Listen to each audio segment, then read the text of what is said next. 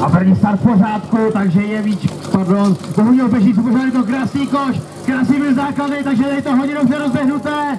Počkáme se do stranice, která posílá nyní do dopředu.